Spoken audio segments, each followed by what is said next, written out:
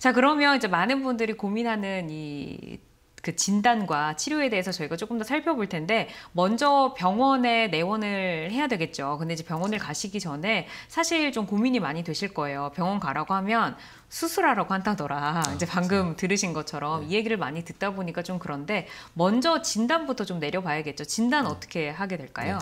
뭐 일단은 처음에 엑스레이를 이제 많이 찍게 돼요. 근데 엑스레이는 뼈의 배열 상태라든지 뭐 뼈의 모양이라든지 이런 부분을 이제 체크를 하는 거고요.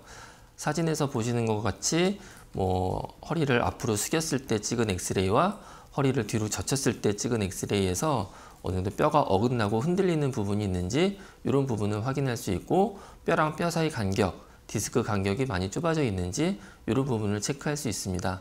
그래서 이런 부분이 있으면은 아 저 부위에 협착이 있을 수 있겠구나 라고 좀 의심을 해볼 수가 있어요. 음. 근데 이제 엑스레이만 가지고 협착을 정확히 진단을 할 수는 없어요. 이제 뭐 다른 병원에 다녀오신 분들도 엑스레이 찍고 협착이라고 진단을 받았다 이렇게 말씀을 많이 하시는데 엑스레이가 정확하게 진단을 내릴 수는 없고요.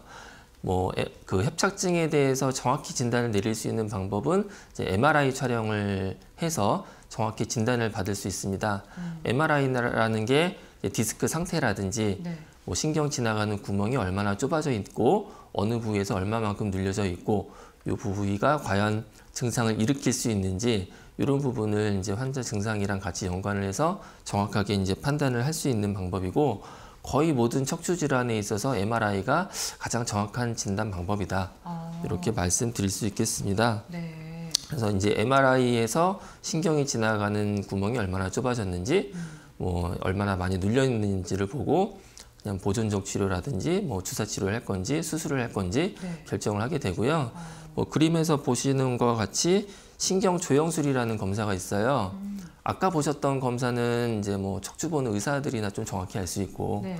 일반 환자분들이 보기에는 굉장히 어렵죠. 잘 알, 네, 알지도 못하고. 예. 이제 이 검사는 신경 지나가는 구멍을 이제 허옇게 보여주는 검사예요. 음.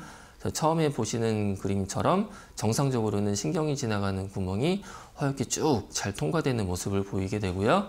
이제 어느 정도 좀 좁아졌다라고 하면은 이 하얗게 하얗게 지나가는 구멍이 좀 잘록하게 좁아집니다. 음. 아 그럼 저희가 협착이 있고 신경이 눌리고 신경이 좀 쫄리고 있구나라고 네. 이제 이해를 하실 수가 있고요.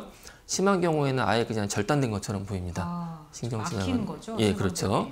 아예 막혀 있는 경우고. 음. 근데 뭐 한 군데만 저렇게 막혀 있는 경우도 있지만 고령이신 분들은 굉장히 여러 마디가 좁아져서 저렇게 여러 마디가 잘록잘록잘록하게 보이는 경우도 많이 있습니다. 네. 그래서 이렇게 보면은 굉장히 쉽게 알아볼 수 있겠죠. 그러네요. 네. 그러니까 엑스레이로 먼저 진단을 하기는 하지만 MRI가 이렇게 척추 질환에 있어서는 가장 좀 정확한 그 진단에 가깝다라고 네. 말씀을 하셨고 마지막에 그 신경 조영술을 통한 MRI를 보니까 환자들도 좀 쉽게 이해를 할 수 있을 것 같아요. 네. 자 그러면 이렇게 진단을 받고 나서 과연 우리가 수술하기 전에 좀 어떤 치료를 할 수 있을지 좀 궁금한데 네. 어, 척추관 협착증에는 어떤 치료들이 좀 존재를 하나요? 네, 뭐 초반에는 심하지 않은 경우에 대부분 약물 치료를 하시죠. 아까 말씀드렸듯이 뭐 진통소염제, 협착증 순환 개선제, 그리고 뭐 신경통약 이런 걸 드시고 뭐 심하지 않은 경우에는 이런 약물 치료만 해도 어느 정도 증상 개선이 돼서 뭐 생활하시고 일하시는데 뭐 큰 지장 없이 일하시는 경우에는 이런 치료를 유지하시면 되고요. 조금 더 불편하다라고 하시면은 물리치료, 운동 이런 걸 할 수 있는데 이제 뭐 물리치료 운동도 이제 증상 완화에 도움이 될 수 있어요. 네. 심하지 않은 경우 그리고 뭐, 간, 뭐 가벼운 디스크라든지 가벼운 협착 이런 거는 운동으로도 어느 정도 개선이 많이 될 수 있는데 뭐 운동을 해서 좋아하시는 분들은 그나마 심하지 않은 정도라고 좀 보시면 되겠고요.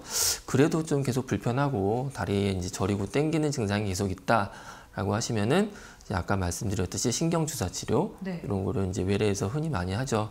그래서 뭐 신경이 눌린 부위를 찾아서 그 부위에 약, 좀 스테로이드를 주입을 해서 염증을 완화시키고 신경을 안정시켜서 증상을 호전시키는 그런 상태인데 뭐 협착이라는 병이 갑자기 생기는 병은 아니에요.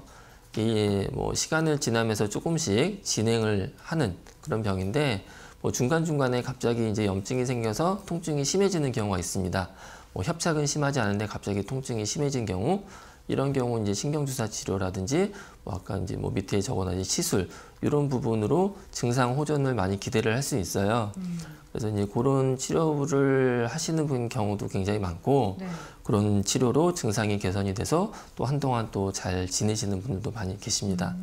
그래서 또 시술이라고 하는 부분은 이제 신경 주사 치료보다는 약이 좀 더 병변에 정확하게 많이 들어갈 수 있다. 네. 그래서 신경 주사 치료보다 조금 더 효과를 극대화할 수 있다라는 이제 그런 치료 방법인데 그렇다고 해서 이 협착을 근본적으로 개선시켜 줄 수 있느냐? 그렇지는 못해요. 아, 음, 이제 뭐 풍선 확장술이라고 해서 신경 지나가는 구멍 좁아진 거를 풍선으로 넓힐 수 있지 않느냐 네. 이렇게 많이 물어보시기도 하고 그런 식으로 고칠 수 없냐 이렇게 말씀하시는데 이제 황색인대가 두꺼워지기 시작하면 딱딱해지기도 하고 해서 탄력성이 굉장히 떨어졌기 때문에 이게 풍선으로 넓히거나 얇게 만들거나 그렇게 할 수는 없어요. 아, 이제 뭐 저런 시술적인 치료 방법들은 아까 말씀드렸듯이 신경주사 치료보다 약을 좀 더 많이 통과시켜서 좀 더 많이 집어넣어서 효과를 좀 더 많이 보자. 이렇게 이제 이런 치료 방법이다라고 이제 이해를 하셔야 돼요. 네. 근데 이제 뭐 시술을 하- 하고 주사 치료를 해도 계속 아프신 분들이 있으세요. 어, 뭐 잠깐은 괜찮은데 계속 아프다. 네. 그런 분들도 있고 이게 주사 맞고 시술하면은 잠깐 좋아지니까 이게 어 내가 협착증이 좀 고쳐지는 게 아니냐 이렇게 생각을 하고 반복적으로 계속 그런 치료들을 받아 오시는 분들이 계시는데 처음에는 효과가 있다 하더라도 점점점 몇 번 더 받으면 받을수록 효과가 점점 떨어지게 돼요. 아하. 네, 그래서 이제 이래도 안 되고 저래도 안 되고 이제 계속 아프니까 결국에는 이제 수술을 상담을 하러 이제 병원에 오시는 분들도 많고요. 네. 근데 아까 전화 상담하셨던 분들처럼 수술을 하면은 걱정이 되게 많이 되잖아요. 그렇죠. 뭐잘 되면 좋지만 안 돼서 내가 또 부작용이 생겨서 문제가 생기면 어떡하냐. 굉장히 무섭게 생각하시는 분들이 있는데 뭐 이제 요즘에는 또 수술도 현미경이라든지 뭐 내시경 이런 거를 정밀하게 잘 보고 하기 때문에. 어, 비교적 굉장히 안전하게 받을 수 있는 그런 상황이고 알겠습니다.